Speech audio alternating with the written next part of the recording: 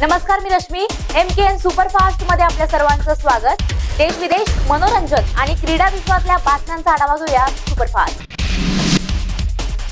पुलवामा दहशतवादी हल्ल्यानंतर भारताने पाकिस्तान विरोधात मोठी कारवाई केली आहे. भारतीय वायुसेनेच्या मिराज टू थाउजंड लढाऊ विमानांनी पहाटे साडेतीनच्या सुमारास पाकव्याप्त काश्मीरमध्ये घुसून जैश ए मोहम्मद या दहशतवादी संघटनेच्या तळावर एक हजार किलोग्रॅम वजनाचा बॉम्ब फेकल्याचं वृत्त एका खासगी वृत्त संस्थेने दिलं आहे. पाकिस्तान हद्दीत घुसून भारतीय वायुसेनेने केलेली ही कारवाई आतापर्यंतची सर्वात मोठी कारवाई असल्याचं सांगण्यात येत आहे बारा मिराज विमानांनी पाक हद्दीत घुसून दहशतवादी तळावर हल्ले केलेत. या हल्ल्यात जैश ए मोहम्मदची अल्फा तीन कंट्रोल रूम पूर्णपणे उद्ध्वस्त झाल्याचंही सांगितलं जात आहे कर्णबधिरांच्या आंदोलनात झालेल्या लाठीमाराचे राज्यभरात राजकीय पडसाद उमटले आहेत. आपल्या न्याय हक्कांसाठी धरणे आंदोलन करणाऱ्या कर्णबधिरांवर पोलिसांनी लाठीमार केल्याच्या प्रकाराचा राजकीय वर्तुळातून तीव्र निषेध करण्यात येत आहे. गृहमंत्री या नात्याने मुख्यमंत्र्यांनी या प्रकरणी राजीनामा द्यावा अशी मागणी विरोधकांकडून करण्यात येत आहे. कर्णबधीर आंदोलकांवर लाठीमार केल्याचं कळल्यानंतर विविध राजकीय पक्षांच्या प्रतिनिधींनी घटनास्थळी भेट दिली. अनेकांनी सोशल मीडियाच्या माध्यमातून पोलीस आणि सरकारचा निषेध करून आंदोलकांना पाठिंबा दर्शवला.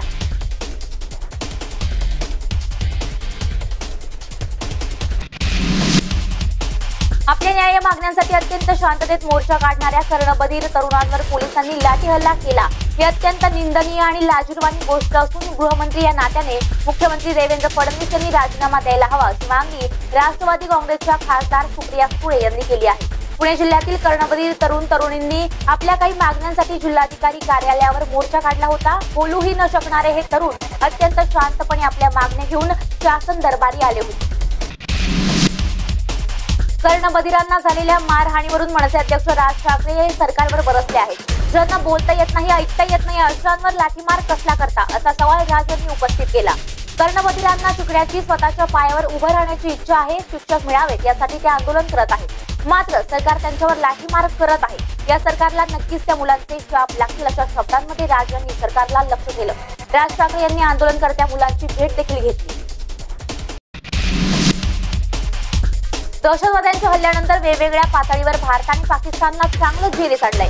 या सर्व क्षेत्रांमध्ये पाकिस्तानची कोंडी झाली आहे. त्यात भर म्हणून भारतीय शेतकऱ्यांनी आपला माल पाकिस्तानमध्ये न पाठवण्याचा निर्णय घेतल्यानं त्याचे टोमॅटोचे दर एकशे ऐंशी ते दोनशे रुपये प्रति किलो झाले आहेत त्यामुळे याचा फटका पाकिस्तानच्या सामान्य नागरिकांना बसतोय. यावरच एका वृत्तवाहिनीवर चर्चा सत्रादरम्यान संतापलेल्या एका वरिष्ठ वार्ताहराने भारताने टोमॅटोची आयात बंद करण्याचा घेतलेला निर्णय अयोग्य असल्याचं सांगितलं. मात्र भारताचा विरोध नोंदवण्याची त्याची पद्धत अगदीच विनोदी होती. कैसर खोकर या पत्रकाराने भारताला टोमॅटोचे उत्तर पाकिस्तान अनुपमने देईल अशी धमकी त्याने दिली आहे. यावेळी नेटकऱ्यांनी त्याला चांगलं ट्रोल केलं. पंतप्रधान नरेंद्र मोदी यांनी प्रयागराज येथील त्रिवेणी संगमात स्नान केलंय. देशाचे पहिले पंतप्रधान पंडित जवाहरलाल नेहरू यांच्यानंतर कुंभमेळ्यात स्नान करणारे ते दुसरे पंतप्रधान ठरलेत. यानंतर पंतप्रधान नरेंद्र मोदींनी सफाई कामगारांचे पाय धुवून त्यांचा सत्कार केला. याच गोष्टीवर शिवसेनेने सामन्याच्या अग्रलेखातून शब्दांचे बाण मारले आहेत. पंतप्रधानांनी सफाई कामगारांचे पाय धुतले त्याबद्दल त्यांचे अभिनंदन मात्र कामगारांचे प्रश्न पायाचे नसून पोटाचे आहेत. डिजिटल इंडियामध्ये ही पायधुनी आली कुठून असा प्रश्न शिवसेनेने विचारला. आहे अयोध्येतील राम मंदिर आणि बाबरी मशीद प्रकरणी आज सुप्रीम कोर्टात सुनावणी होणार आहे. सुप्रीम कोर्टातील पाच न्यायाधीशांच्या खंडपीठासमोर ही सुनावणी होईल. न्यायमूर्ती रंजन गोगाई बोबडे चंद्रचूड अब्दुल नाझीर आणि अशोक भूषण यांचा समावेश या खंडपीठात असणार आहे.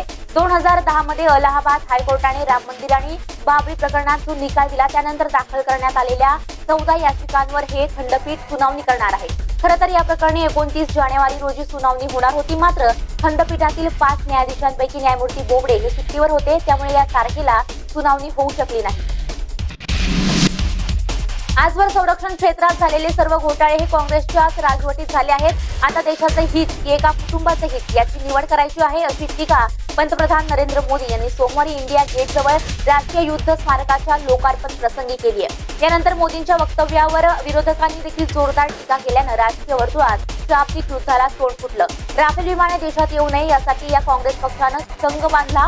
दोन हजार नऊ मध्ये सेनादलांनी एक लाख शहाऐंशी हजार बुलेट प्रूफ जॅकेट मागितली होती पण ती दिली गेली नाहीत. आम्ही साडेचार वर्षात दोन लाख तीस हजार जॅकेट दिली आहे. तुरुंगाला मी घाबरत नाही देवेंद्र फडणवीस माझे भाषण परत ऐका. मी काही चुकीचं बोललो नाही. माझ्या तुरुंगाचा आणि जामिनाचा उल्लेख करून तुम्ही घाबरवण्याचा प्रयत्न करत आहात. मात्र मी घाबरणार नाही. मी सिंहासारखा जगेन देवाने मला किती आयुष्य दिले ते माहीत नाही. मात्र जेवढा काळ जगेन तेवढा काळ सिंहासारखा सुर प्रमाणे जगेन नसते म्हणत माजी उपमुख्यमंत्री छगन भुजबळ यांनी फडणवीस यांना उत्तर दिलं आहे. मार्वल्सच्या Deadpool Vision Nova Speed Luna यांसारख्या दुसऱ्या फळीतील नवीन सुपर हिरोच्या फौजेत नवीनच भरती झालेल्या ब्लॅक पॅन्थरने ऑस्करमध्ये सर्वांचंच लक्ष वेधून घेतलं. मार्वल स्टुडिओसाठी ऑस्कर जिंकताना ब्लॅक पॅन्थर हा पहिलाच आफ्रिकन सुपर हिरो ठरला आहे. रोमा आणि बोहेमियम नंतर सर्वाधिक नामांकने ही ब्लॅक पॅन्थरला मिळाली होती. सात नामांकनं या चित्रपटाला मिळाली. त्यातल्या तीन पुरस्कारांवर ब्लॅक पॅन्थरने आपली मोहर उमटवली. ब्लॅक पॅन्थर हा मार्वल स्टुडिओचा पहिला आफ्रिकन सुपर हिरो आहे.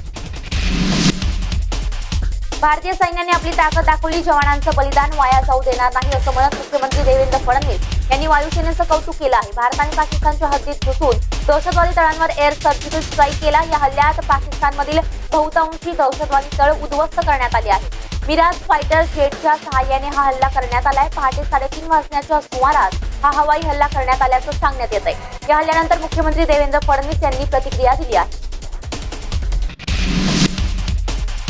भारतीय वायुसेनेकडून पाकिस्तानवर एअर स्ट्राईक करण्यात आला. या हल्ल्यात तब्बल हजार किलो स्फोटकांचा मारा पाकिस्तानमधील दहशतवादी तळांवर करण्यात आला. या हल्ल्यात अनेक दहशतवाद्यांचा खात्मा झाल्याचं सांगण्यात येत आहे भारताच्या या हवाई हल्ल्यानंतर सोशल मीडियावर भारतीय सैन्याचे आभार मानण्यात येत आहे तसेच hash drone hash air strike hash Balakot hash surgical strike two हे हॅशटॅग ट्रेंड करत आहे या हल्ल्यात पाकिस्तानच्या बालाकोट येथील बहुतांशी दहशतवादी तळ उद्ध्वस्त करण्यात आली आहेत.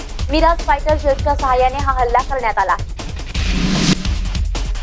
भारतीय वायुसेनेच्या या अभिमानास्पद कामगिरीस काँग्रेसचे अध्यक्ष राहुल गांधी यांनी सलाम केला आहे. राहुल गांधी यांनी या प्रकरणी ट्विट केलं आहे. भारतीय वायुसेनेच्या मिराज विमानांनी मंगळवारी पहाटे पीओकेत घुसून जैश ए मोहम्मद या दहशतवादी संघटनेचा दहशतवादी तळ उद्ध्वस्त केलं. पुलवामा दहशतवादी हल्ल्याचा बदला घेतल्याचं वृत्त प्रसिद्ध झाल्यानंतर आता यावर प्रतिक्रिया येण्यास सुरुवात झाली आहे. नवसाला पावणारी हाकेला धावणारी दक्षिण काशी ओळखली जाणारी सिंधुदुर्गातील मालवण मधील आंगणेवाडीची भराडी देवी. कोकणवासियांचे श्रद्धास्थान असलेली देवीची जत्रा आजपासून सुरू झाली. कोकणातील जत्रा ठराविक तिथीला निश्चित असतात. मात्र अंगणेवाडीतील श्रीदेवी भराडी देवीची यात्रा त्याला अपवाद आहे. यात्रेचा दिवस निश्चित नसतो. देव दिवाळीनंतर देवीचा विधी अर्थात मांजरी बसवण्याचा कार्यक्रम होतो. टाळत बसवल्यानंतर गाव पारधीसाठी बाहेर पडतो. जंगलात रानडुकराची शिकार केली जाते. शिकार झाल्यानंतर गावात त्याची मिरवणूक काढली जाते. पारधीनंतर दुसऱ्या दिवशी तिसऱ्या दिवशी ग्रामस्थ मंदिरात जमा होतात. देवीचा कौल घेऊन यात्रेची तारीख निश्चित केली जाते. भारतानं पाकिस्तानवर केलेल्या एअर स्ट्राईकबद्दल परेश सचिव विजय गोखले यांनी एक पत्रकार परिषद घेऊन अधिकृत माहिती दिली आहे. भारतानं पाकिस्तानवर मंगळवारी केलेल्या या हल्ल्यात मसूद अजहरचा मेहुणा आणि जैश ए मोहम्मदचा टॉप लिडर मौलाना युसुफ अझहर हा देखील ठार झाला असल्याची माहिती परदेश सचिव विजय गोखले यांनी दिली आहे. प्रत्युत्तर म्हणून आज पहाटे पाकिस्तान अधिकृत काश्मीरमधील जैशेच्या अनेक दहशतवादी तळांवर भारताकडून कारवाई करण्यात आल्याचं देखील त्यांनी म्हटलंय. आगामी वर्ल्ड कपमध्ये पाकिस्तानवर बहिष्कार घालण्याची मागणी जोर धरू लागली आहे. हरभजन सिंग आणि सौरव गांगुली यांच्यासारख्या माजी खेळाडूंनी या मागणीचं समर्थन केलंय. एवढंच नाही तर सर्वोच्च न्यायालयाने नियुक्त केलेल्या बीसीसीआयच्या प्रशासकीय समितीनंतर दहशतवाद पोचणाऱ्या देशांवर बहिष्कार घालावा अशी मागणी करणारं पत्र लिहिलं. पण प्रशासकीय समितीच्या या पत्रामध्ये थेट पाकिस्तानचा उल्लेख टाळण्यात आला. या वादाच्या दुबईमध्ये बुधवारी आयसीसीच्या मुख्य कार्यकारी अधिकाऱ्यांच्या समितीची महत्वाची बैठक होत आहे. या बैठकीत वर्ल्ड कप वेळी इंग्लंडमधल्या सुरक्षेबद्दल भारताचा संशय मिटवण्यात येईल. तसंच या बैठकीत पाकिस्तानवर बहिष्काराचा मुद्दा उपस्थित केला जाणार नाही अशी माहिती सूत्रांनी दिली आहे. आज पहाटे साडेतीन वाजण्याच्या सुमारास भारतीय वायुदलाकडून पाकव्याप्त काश्मीरमध्ये मुसंडी मारत एक मोठी कारवाई करण्यात आली आहे. पुलवामा हल्ल्याचं प्रत्युत्तर म्हणून भारताकडून ही कारवाई करण्यात आली आहे. या कारवाईत पाकव्याप्त काश्मीरमध्ये असणाऱ्या चौदा जैश ए मोहम्मद या दहशतवादी संघटनेच्या महत्त्वाच्या तळांना उद्ध्वस्त करण्यात आले. मिराज टू थाउजंड लढाऊ विमानांच्या मदतीने भारतीय वायुदलाने ही कारवाई केली आहे. यामध्ये जवळपास दीडशेहून अधिक दहशतवाद्यांचा नायनाट झाल्याची माहिती समोर आली आहे. हातभट्टीमुळे विषारी दारू प्यायल्यामुळे मृत पावलेल्या नागरिकांची संख्या एकशे सत्तावन्न वर जाऊन पोहोचली आहे. तीनशे जणांवर वेगवेगळ्या रुग्णालयात उपचार सुरू आहेत. या प्रकरणी पोलिसांनी वीस जणांना अटक केली आहे. तसेच दोन अधिकाऱ्यांना निलंबित देखील करण्यात आला आहे. याबाबत कसून चौकशी करा अशी मागणी विरोधकांनी केली आहे. तसेच बेकायदा दारूचे जाळे उद्ध्वस्त करून टाकण्याचे आदेश सरकारने उत्पादन शुल्क विभागाला दिले आहेत भारतीय हवाई दलाने पाकमधील बालाकोटमध्ये केलेल्या हवाई हल्ल्याचा परिणाम शेअर बाजारवरही झालेला पाहायला मिळाला.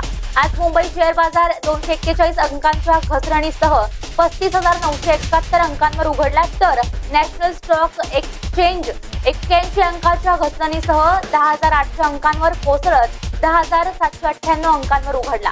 सकाळी साडेनऊ वाजता सेन्सेक्स दोनशे शेहेचाळीस अंकांच्या घसरणीसह पस्तीस हजार नऊशे सदुसष्ट अंकांवर तर निफ्टी एक्क्याऐंशी अंकांच्या घसरणीसह दहा हजार सातशे अठ्ठ्याण्णव अंकांवर पोहोचला.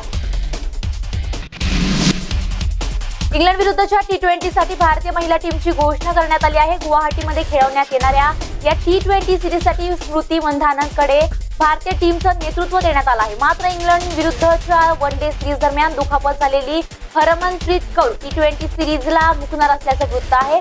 बावीस वर्षाच्या स्मृती मंधानने आतापर्यंत पंचावन्न आंतरराष्ट्रीय टी ट्वेंटी मॅच खेळल्या आहेत. यामध्ये तिने एक हजार दोनशे सव्वीस रन केले आहेत स्मृतीने याशिवाय पन्नास वन डे आणि दोन टेस्ट मॅचही खेळल्या आहेत.